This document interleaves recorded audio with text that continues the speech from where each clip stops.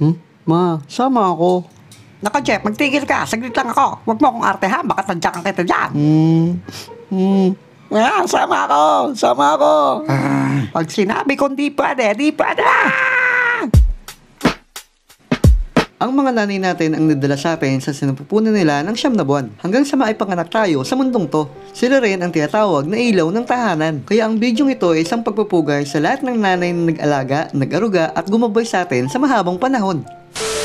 Lumaki ako sa isang pamilya na laging nag-aaway ang nanay at tatay. Lasanggero kasi tatay ko. At sa tuwing malalasing siya, ay nagwawala at nagbabasag ng mga gamit. Pero wala sa bokabularyo ni mama magpatalo at magpabugbog. At siya ang pinakamatapang na babae na nakilala ko. Isang araw, nag-aaway na naman sila dahil lasing na naman si papa. Maya-maya, ay nagpakulo si mama ng tubig. At dahil sa sobrang galit ni mama, binuhusan niya ng kumukulong tubig si papa. O, di ba? Ganyan maglambingan nanay at tatay ko noon. Isang araw, nag-aaway na naman sila mama at papa. At maya maya, biglang naimatay si mama sa sobrang galit. Lumaya si papa sa bahay na parang walang nangyari. Kaming dalawa lang ni mama noon sa bahay. At dahil 7 years old lang ako noon, eh, hindi ko talaga alam ang gagawin ko. Naalala ko, gumagamit si mama ng Vicks sa tuwing sumasakit ang ulo niya. Nung time na yun, wala akong makitang Vicks. Kaya naganap na lang ako ng kahit anong pamahid sa ulo niya para magising si mama. Hanggang sa may nakita akong parang lotion sa ibabaw ng aparador. Hindi ko alam, stop pain pala yun.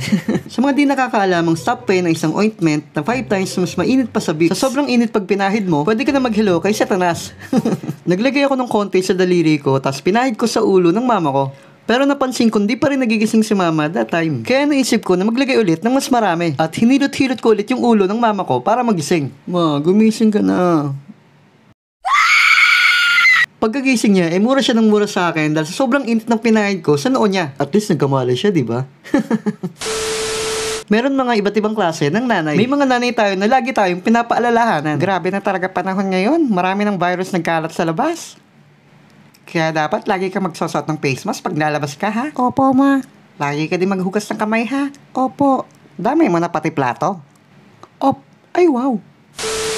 Meron ding mga nanay na magaling mag-grill talk. Ay, pengen naman akong 500. Ayaw kasi akong bigyan ni nanay eh. Pang date lang sana namin ng girlfriend ko. Anong pandidate? Ang late-late pa nga yung pototoy mo? Anong mapapala ng kadate mo sa'yo? Kakabagan lang yan. Stricto si mama pagdating sa pagdidisiplina sa amin noon. Bago mag alas 6, dapat nasa loob na kami ng bahay. At dahil kung hindi, eh, sa labas na kami papatulugin at huhubaran pa kami. Minsan, ganito naman ang eksena pagkakain kami. Hmm, hmm, Jenny, pangit. Pangit ka din. Mas pangit ka. Mas pinapangit ka. Mas pinapangit ka sa buong mundo. Mama, si Kuya Jeff nang aasar oh. Jeff, Jenny, ano ba yan? Pati sa harap ng pagkain, nag-aaway kaya? Pag kumakain, dapat parang nagdadasal. Pag umpugin ko kayo dalawa dyan. At katulad ng ibang nanay, meron din mga linya si mama na hindi ko makakalimutan.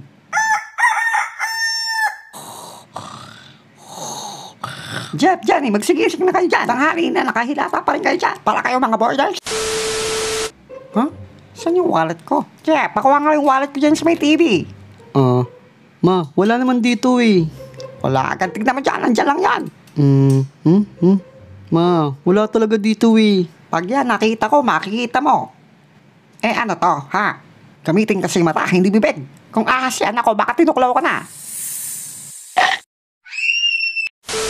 Pag naglalabas si mama noon, eh nagagalit siya kapag nawawala yung pares ng medyas namin. Jenny, Jeff, ba't nawawala na ng kapara sa medyas na dito? Di ba sabi ko sa inyo, ipasok yung kapara sa loob ng kabilang medyas? Para kahit magpagulong-gulong, hindi mawala. Para kayo nakakuha ng katulong dito. Pag ako nawala, nako, kawawa talaga kayo. Hmm?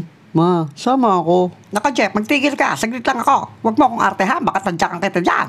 Hmm, hmm. Ayan, sama ako. Sama ako. Pag sinabi kong di pwede, di pwede. Pag nakita kong may hawak na pamalo si mama, eh parang naihina ako sa takot. di pa kita hinahataw, todo hagulgul ka na. Tigilan mo ngayon ngayon ngayon, naririndi ako. Isa.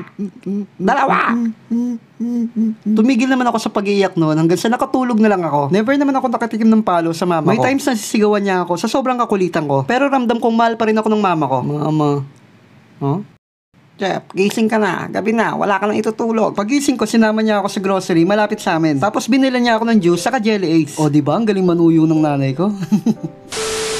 si mama ang nagsilbing doktor nung bata ako. Isang hipo niya lang sa akin, eh alam niya na agad na may lagnat ako. Kawawa naman anak ko, taas ng lagnat. Kakalaro yan sa labas. Never naman akong dinala sa ospital nung may sakit ako. Dahil alam naman ni mama kung paano ko gagamutin. Kumukuha si mama ng maligamgam ng tubig na may alcohol. At pinupunasan niya yung katawan ko hanggang bumaba yung lagnat ko. Pinapainom niya rin kami ng gamot para gumaling kami. At isa sa pinakamabisang gamot na binigay sa amin ni mama ay Skyflakes sa 7-Up, minsan Royal. At sa di malamang kadahilanan, eh nawawala talaga lagnat namin doon. Ewan mo ba?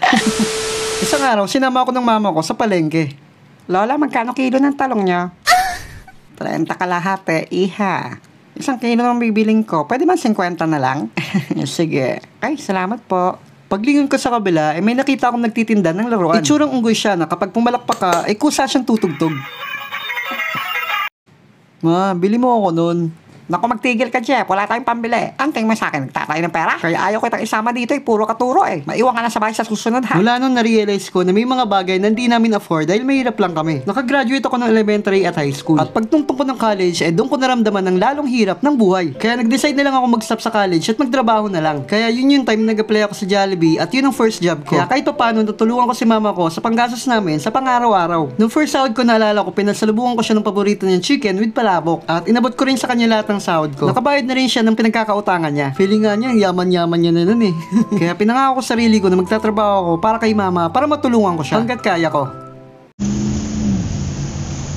Ang tagal naman ng bus, uwing-uwi na ako. Hello ma, happy Mother's Day. Wait ko lang po yung bus pa binyan, pauwi na ako. Mother's Day na pala, makabili ng pasalubong mamaya. Andito na ako.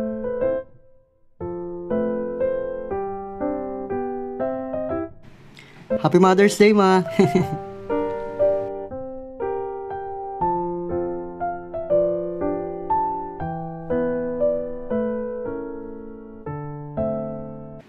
Namatay yung mama ko noong 2006, sakit na mayoma. At ang sahod ko noon ay sakto lang sa pang-araw-araw namin panggastos. Kaya wala na akong pagkakataon na may paggamot siya. Sobrang nahirapan ako noon nung mawala siya. Pero kailangan magpatuloy sa buhay. Ma, alam kong masaya ka na ako sa kama naroroon ngayon. Mawag mo akong masyadong alalahanin dito. Di man ako mayaman, pero nasa mabuting kalagayan naman ako kasama ng anak ko. Maiaalay ko sa iyo lahat ng achievement ko sa YouTube. At alam kong balang araw, may magkikita tayo ulit. At pag nangyayari yun, siguraduhin kong hindi hindi na tayo maghihiwalay. Happy Mother's Day po. I miss you ma, mahal na mahal kita. Maswerte yung mga anak na kasama pa nila mga nani nila hanggang ngayon. Yung iba baby pa lang, di na nila nasilayan mga mama nila. Hindi habang panahon makakasama natin mga nanay natin. Kaya kung kasama mo pa mama mo ngayon, paramdam mo na sa kanya ang pagmamahal at pag-aalaga gaya ng pag-aaruga nila sa atin nung mga bata pa tayo. Dahil wala nang masasarap pa pag nakita natin mga mama natin or magulang natin maging masaya. Sa lahat ng mga nanay, mama, mudra, inay, mamis, Happy Mother's Day po sa inyong lahat.